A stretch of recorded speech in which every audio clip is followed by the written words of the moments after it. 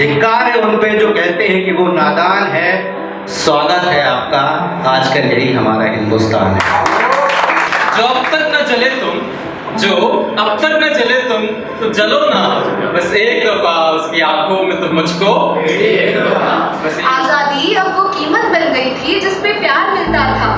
हर दिन हंसकर शुरू होता पर रोकर ही ढलता था। तेरा बॉस तेरे को जॉब से निकाल देगा स्ट्रेस है ना तेरे को योगा कर तेरे बच्चे के पास अनएम्प्लॉयमेंट होगा क्योंकि स्कूल की फ़ीस नहीं दे रहे तो उसको भी लाइफ में स्ट्रेस होगा उसको भी योगा सिखा। भाई मेरा बाप मर जाएगा इतने स्ट्रेस में। बेटा उसको शाबाश। है अब कोई पैर छूना नहीं पैर खींचना सिखाते हैं। क्या करोगे नहीं कितना कमाओगे ये सिखाते हैं। शायद।